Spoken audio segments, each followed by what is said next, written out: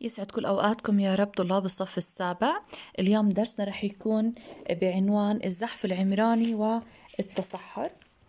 حكينا عن مجموعة من الأخطار آه، الممكن تتعرض لإلها آه، البيئة. طبعا إحنا حكينا عن الأخطار آه، التغير المناخي والأخطار الطبيعية والبشرية. هلأ إحنا حكينا كل الحصص السابقة اللي هي عن الأخطار الطبيعية. آه، رح نفصل الطبيعية اليوم عن البشرية. إحنا حكينا الطبيعية اللي كانت عبارة عن التغير المناخي الأعاصير البراكين الزلازل الفيضانات الانهيارات الأرضية الحرائق وموجات الحر كل هاي هي أخطار طبيعية. اليوم رح نبلش في الأخطار البشرية واللي هي آه، قسمناها لثلاث أقسام اللي هي زحف عمراني والتصحر وعند الحروب والنزاعات القسم الثالث. تمام يا مس؟ طبعا اليوم درسنا رح يكون عن آه، الأخطار البشرية الأولى اللي هو الزحف العمراني والتصحر. هلا أول إشي رح نتعرف خلال هذا الدرس على مجموعة من المفاهيم الموجودة فيه اللي هي مثل الزحف العمراني ومفهوم التصحر. ورح نبين أسباب الزحف العمراني ورح نبين آه، كيفية مكافحة الزحف العمراني وأهم الطرق التي يمكن من خلالها مكافحة التصحر.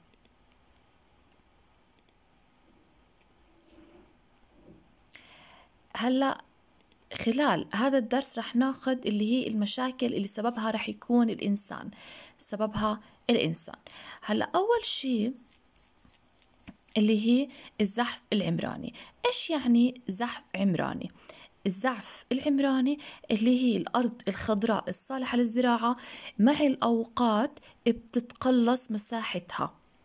تمام حيث يتم السيطرة عليها من قبل المباني والمصانع زي ما إحنا شايفين في الصورة. بتزداد المباني والمصانع وبتيجي بتسيطر على الأراضي الزراعية. تمام؟ يعني معناها اللي هي بناء المنشآت في الأراضي الصالحة للزراعة بناء منشآت على الأراضي الصالحة للزراعة. تمام؟ إيش يعني؟ يعني إحنا بس يجي يصير زيادة لعدد السكان تمام؟ وخاصة في الدول النامية طبعا بصير آه نتيجة زيادة عدد السكان و آه الهجرة. اللي هي التحضر من الريف للمدينة بالتالي بده يزيد عدد السكان. وبالتأكيد نتيجة زيادة عدد السكان بدهم يبحثوا عن المباني تمام؟ هلأ بدهم يبنوا مساكن تكون لإلهم وبالتالي بدهم يبحثوا عن أرض للمباني. هلأ بيوصلوا لمرحلة هم بدهم برضه آه بدهم يوسعوا المدينة. هلأ بصير البناء في وسط المدينة بعدين بصير توسع توسع توسع بالتالي بدهم يوصلوا لأطراف المدينة. طبعا الأطراف دائما أطراف المدينة بتكون زراعية وبالتالي بدها تذهب الأراضي الزراعية على حساب المناطق السكنية. هلأ هذه الظاهرة موجودة في كل الدول المتقدمة والنامية. تمام؟ هلأ إيه السبب الرئيسي آه، لزيادة آه، ظاهرة الزحف العمراني اللي هي عدم قدرة المدينة على توفير مساكن مناسبة للأعداد المتزايدة من السكان. تمام يا مس؟ إذا هون خلال هذا السلايد أنا وضحت مفهوم الزحف العمراني وضحت آه سبب مشكلة الزحف العمراني اللي هو النمو السكاني والهجرة والمناطق اللي انتشر فيها هذه الظاهرة اللي هي معظم الدول المتقدمة أو النامية. تمام.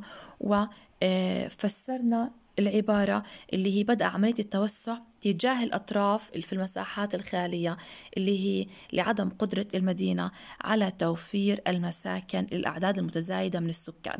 هي ظاهرة بشرية. سببها مين؟ الإنسان نفسه. تمام؟ عندي بتتطور حياته بصير بده يشتري بيت بده إيه ممكن برضه إيه عندي إيه سبب زيادة الزحف العمراني اللي هي زيادة القدرة الشرائية عند الإنسان مستواه المعيشي تطور وبالتالي بصير في عنده قدرة شرائية عالية هذا الشيء بيدفعه لشراء أراضي تمام؟ فبيحب يشتري أراضي وبالتالي بيتوسع. أفقي تمام افقي اللي هو البناء بجانب بعض المساكن بجانب بعضها البعض وليس بشكل عمودي. يعني أنا ما ببني بشكل طوابق أنا طوابق أنا ببني بشكل أفقي. تمام؟ هذا الشيء بيزيد التعدي على الأرض آه، الزراعية. تمام يا مس؟ هلأ هون بدنا نوضح أسباب الزحف العمراني والآثار السلبية الناتجة عن الزحف العمراني. تمام. هذا موجود عندي اللي هي صفحة 70 أهم سبب اللي هي زيادة عدد السكان أنا حكيتها. كل ما زاد عدد السكان كل ما زاد حاجتهم للمباني وبالتالي بده يزيد التعدي على الأرض الزراعية. اثنين اللي هي تطور النشاط الصناعي. لأنه إحنا بدنا آه، مصانع تمام؟ وبالتالي ممكن يصير التعدي على الأرض الزراعية حتى نبني مصانع تمام؟ هلا آه، التغيرات الاجتماعية وزيادة القدرة الشرائية. تمام؟ هلا هون الخدمات الموجودة وفي آه، نشاطات جديدة. تمام؟ زراعة تجارة وبالتالي بصير في عندي عوائد مادية أكثر.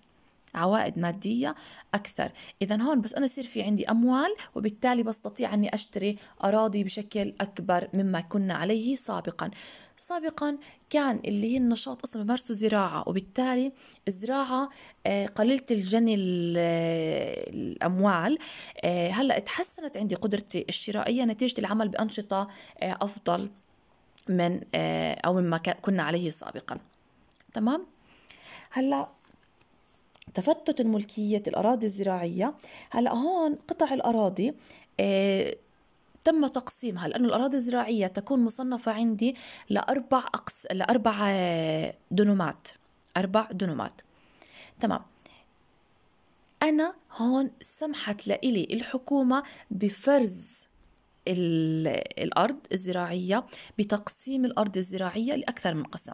هلأ هلا هذا التقسيم للأرض بالتالي بده يصير السماح. مثلا عندي أربع دونومات بدي آجي آه، أقسمهم آه، أو أفرزهم لاكثر من شخص أو مثلا دونومين بدي أقسمهم لاكثر من شخص لأربع أشخاص مثلا.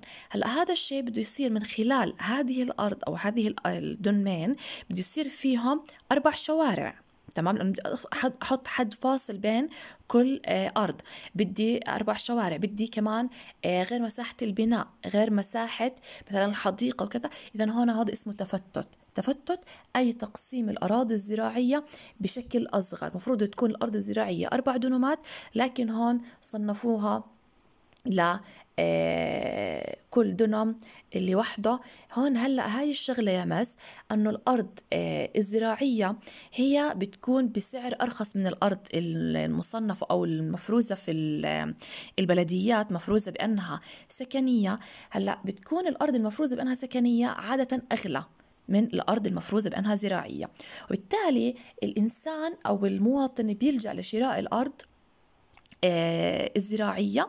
تمام وتقسيمها لعد آه، يعني بيقسمها عليه وعلى عدد من الناس بيشتروها معه تمام وبيتم تقسيمها. هلأ هذا التقسيم يؤدي لتفتيت الأرض الزراعية آه، لأنه زي ما حكيت لكم آه، قبل قليل بيتم بناء عليها شارع للحد بين للحد بين الأراضي أو الفصل بين الأراضي. بيتم أيضا بناء فيها مساكن.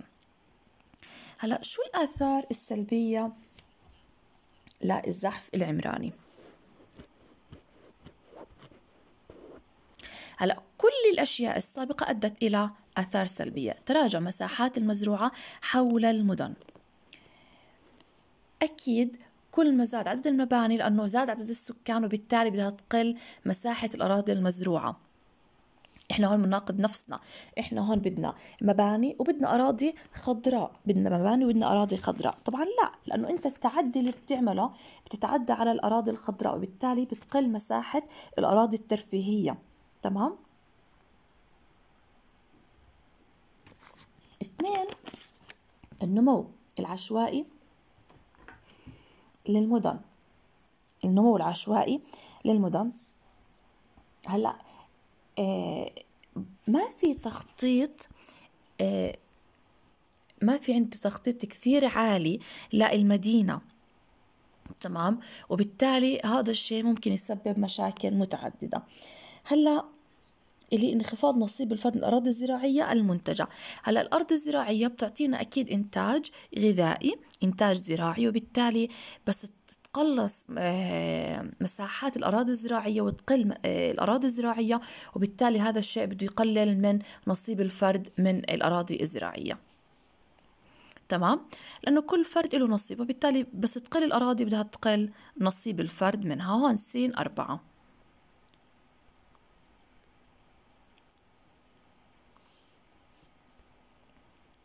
هلأ هون عندي في رسم بياني لأكبر التجمعات الحضرية. هلأ هون الرسم البياني بيشير لي أنه أكبر التجمعات الحضرية آه، كانت في طوكيو كانت في طوكيو. وأقل التجمعات الحضرية كانت في نيويورك. إذا هنا عندي التجمعات الحضرية أكبرها وأقلها.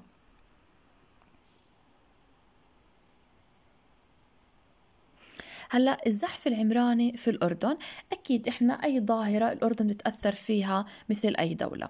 هلأ عندي آه الأردن لو نلاحظ أو نعطي مثال على آه عمان عمان أو الأردن آه أولا آه الأردن آه نسبة التحضر فيها كبير جدا لأنه آه عدد السكان اللي بيسكنوا المدن هو كبير. هو كبير. هلأ نسبة التحضر في الأردن حوالي 78% آه، هذا الشيء أدى إلى استهلاك الأراضي الزراعية الخصبة إحنا لو نرجع للمعلومات آه، العلمية آه، بتشير لنا أنه أكثر المناطق خصوبة اللي هي مناطق الموجودة في عمان. مثل منطقة آه، خلدة وتلاعل العلي هم من أكثر الأراضي آه، خصوبة تمام؟ ولكن لو نشاهد بنشاهدها في الوقت الحالي هي أكثر المناطق مبنية. وبالتالي آه، إذا هي أكثر المناطق عليها زحف عمراني عليها تعدي على الأراضي الزراعية اللي هي عمان. هلأ تمام؟ هلأ شو يعني أو كيف ممكن آه، آه، نعمل حتى نقلل من مشكلة الزحف العمراني؟ عملت الأردن خطط تنموية شاملة ومتكاملة لإعادة التوازن بين العمران وما يحيط بها من الأراضي الزراعية. تمام؟ هلا هون إيش أكثر محافظتين بيتعدى فيهم الزحف العمراني نحو الأراضي الزراعية؟ اللي هم عمان وأربد. عمان وإربد. هلأ هون ممكن نحط حل علل نحط كلنا يا مس اللي هو صفحة 71 الفقرة الثانية السطر الأول. علل. تعد الفقرة الثانية السطر الأول. علل. تعد مدينتي عمان وإربد آه، أمثلة على الزحف العمراني نحو الأراضي الزراعية. ليش؟ لأنها شهدت توسعا عمرانيا كبيرا على حساب الأراضي الزراعية. عندي في خريطة التوسع العمراني في مدينة عمان. هاي خريطة تركيبية يا مس. صفحة 71 لو كنا نتابع معي. صفحة 71 في عندي خريطة تركيبية اللي هي هاي خريطة بنائية. هلأ شو عمل لي هون في الكتاب؟ بنالي اللي هي كل سنة بلون أعطاني كل سنة لو ننتبه على ال legend اللي هو مفتاح الخريطة كل سنة أعطاه لون. تمام. أعطاني عندي اللون النهدي ل 1946 اللون الكحلي أو الأزرق الغامق اللي هو 1957 2003 اللي هو اللون السكني 2005 اللون الأزرق 1994 آه، اللي هو اللون الأخضر.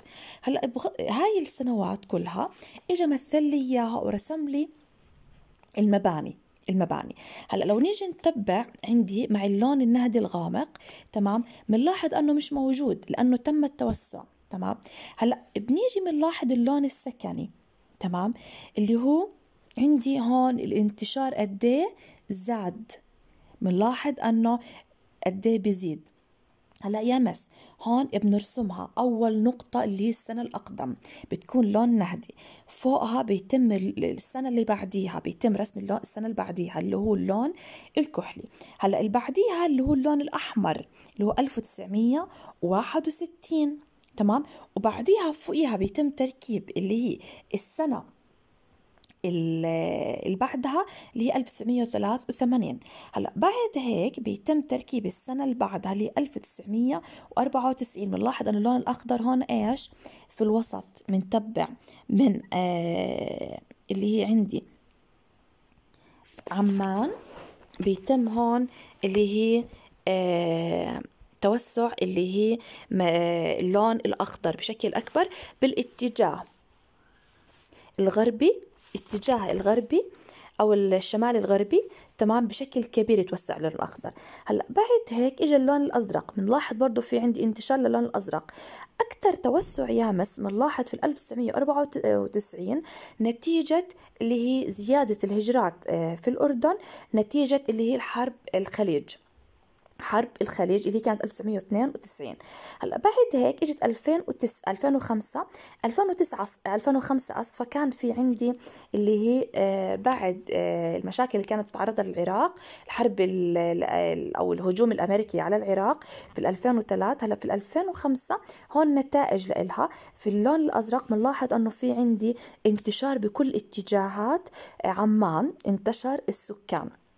انتشر البناء. هلأ اللون السكني عندي برضه انتشار كبير جدا في الألفين وثلاث أيضا. عندي انتشار وتوسع للمباني في مدينة عمان.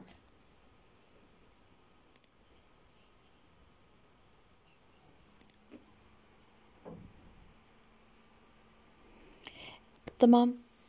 هلا من الاقتراحات اللي إحنا ممكن نقوم بها أو نقترحها حتى نحد من ظاهرة الزحف العمراني اللي هي توعية المواطنين بمشكلة الزحف العمراني وخطرها.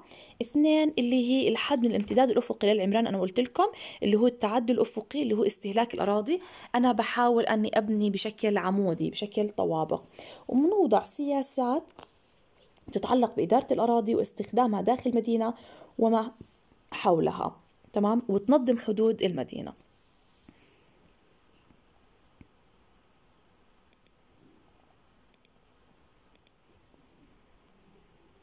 هلا هون عندي المشكلة البشرية الثانية اللي هي التصحر. قبل البدء بالتصحر أعرض عليكم فيديو قصير حتى يوضح لي إيش يعني تصحر.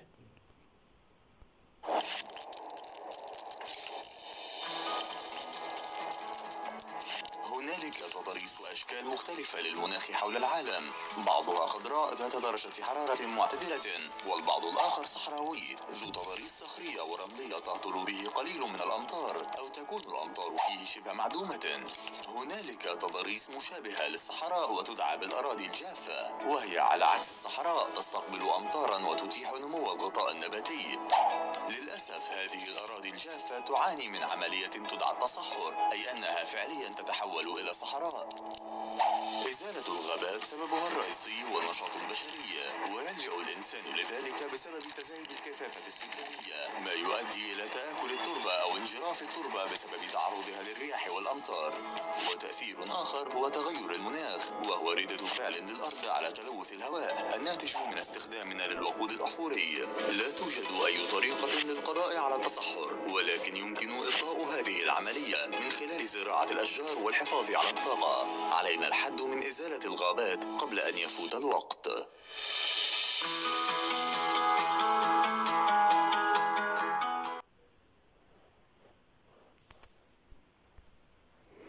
طبعا إحنا هون آه، شفنا فيديو بيعرض لنا آه، اللي هو مشكلة التصحر وكيف إحنا ممكن نتجنب هاي المشكلة. هلأ يا مس مشكلة التصحر اللي هي ممكن نعرفها هي مجموعة من العمليات التي تؤدي إلى انخفاض إنتاجية أي نظام بيئي. عمليات ممكن تقلل من إنتاجية أي نظام بيئي. هل التصحر إلها عدة أشكال؟ ممكن تصحر الأراضي وممكن تصحر الأنظمة البيئية. هلأ في عندي هون صورة. فرق بين الأرض الزراعية المزروعة بيئة طبيعية نظام طبيعي آه، الموجودة على إيدك اليمين آه، أما على الإيد إيدنا الشمال في عندي اللي الأرض المتصحرة. كيف تحولت الأرض من أرض منتجة تمام آه، كبيرة الإنتاج إلى أرض قليلة الإنتاج.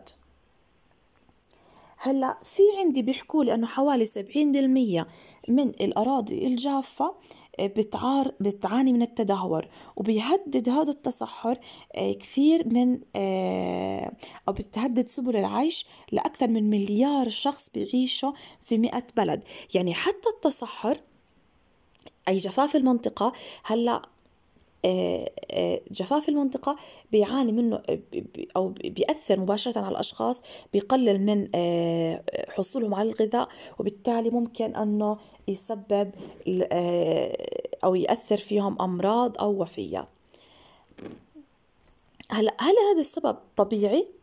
طبعا ممكن يكون طبيعي اللي هو آه، قلة كميات الأمطار لكن آه، إحنا هون صنفناه بأنه بشري لأنه هناك مجموعة من العمليات اللي قام فيها الإنسان أدت إلى زيادة التصحر. ورح نبين إيش هي هاي الأمور اللي عملها الإنسان وبالتالي أدت إلى زيادة التصحر. تمام؟ إذا أشكال التصحر اللي هي تصحر الأراضي وتصحر الأنظمة البيئية. هلأ يا مس عندي هون أسباب التصحر اللي هي أو قبل البدء بأسباب التصحر بس عندي هون في خريطة اللي هي المناطق المعرضة للتصحر في العالم أكثر المناطق المعرضة للتصحر في العالم اللي هي عندي آه، موجودة في آه، شمال آه، غرب شمال وغرب آه، إفريقيا. تمام؟ وعندي الجزيرة العربية جزء من الجزيرة العربية. وفي عندي يمس جزء من الجزيرة العربية. وفي عندي اللي هي جنوب وغرب اللي هي أمريكا الجنوبية. إذا في عندي المناطق اللي ممكن نحكيها شمال وغرب آه، أفريقيا وعندي أيضا جنوب وشرق آسيا. آه، آسفة أمريكا الجنوبية أمريكا الجنوبية. هلأ الرعي الجائر وتحمل أراضي رعوية أكبر من طاقتها. هلأ النباتات هي كائنات حية حساسة جدا جدا. وبالتالي إحنا كل ما زدنا ترك الحيوانات فيها وبالتالي كل ما زاد الرعي الجائر وبالتالي بتبطل تتحمل بتفقد قدرتها على الإنتاج وبالتالي بتتحول لأرض جافة. القطع المستمر للأشجار أكيد الأشجار آه، هي بمثابة حافظ للتربة. تمام؟ كل ما كانت الأرض مزروعة كل ما حفظت التربة وزادت خصوبتها. وبالتالي أنا كل ما زدت قطع الأشجار كل ما زدت ظاهرة التصحر. الزحف العمراني بسبب الزيادة السكانية. حكينا إذا كل ما زاد الزحف العمراني كل ما زاد العمران تمام بدي أحفر وأبني على الأرض تمام بالتالي بدها تسبب تصحر. لأنه أنا استهلاكي للبناء بده آه، يقلل من آه، جدوة آه، أو جودة الأرض. هلأ التأثيرات المناخية أو خلينا نكمل الأنشطة الإنسانية والملوثات. ممكن الإنسان بس يعرض التربة لملوثات آه، شديدة آه، آه، أسمدة خطيرة أو اللي هي مبيدات أسفة اللي هي خطرة. هاي المبيدات ممكن أنها تلوث التربة وتزيد من أو تقلل من إنتاجيتها وبالتالي بدها تزيد من التصحر. هلأ التأثيرات المناخية اللي هي انجراف التربة وتعريتها زياد أو قلة آه، الأمطار وارتفاع معدلات الحرارة وبالتالي هذا الشيء بده يؤدي إلى زيادة معدلات التبخر وبالتالي زيادة آه، تصحر الأراضي. تمام. هلأ كيف إحنا ممكن نحمي نفسنا من مشكلة التصحر ونتخلص من التصحر؟ اللي هي عمل خطة إقليمية ضمن خطة عالمية لحد من التصحر أنا لازم عالميا إحنا نحل هاي المشكلة خطة عالمية. تنمية الغطاء النباتي وقف تدهوره. إحنا ممكن آه نحث دائما المواطنين على الزراعة تمام؟ ونبين خطورة آه، اللي هي آه، آه، ترك الأرض ترك الأرض الزراعية وتركها أنها تتدهور. نبين للمواطنين مدى خطورة هذا الشيء. لازم نقلل من إجراف التربة عن طريق فعل حواجز. هلا آخر شيء إنشاء المحميات الرعوية اللي هي للتقليل من الرعي الجائر. ممكن نحط حواجز آه شيك لإلها. وبالتالي نقلل من وصول الرعي الجائر اللي هي الأغنام لهاي الأرض. هاي وضحناها وهون رح يضل عندي بس أسئلة الدرس. طبعا الأسئلة اللي أنا حليتها حطيت لكم إياها والأسئلة اللي مش محلولة أنا هون رجعت وضحتها. أنا شرحتها خلال الدرس لكن هون أنا رجعت وضحتها معاكم. شكرا لحسن استماعكم طلابي الأعزاء وإن شاء الله بشوفكم الحصص القادمة آه وتكونوا بكل صحة بكونوا بصحة وبعافية. يا رب.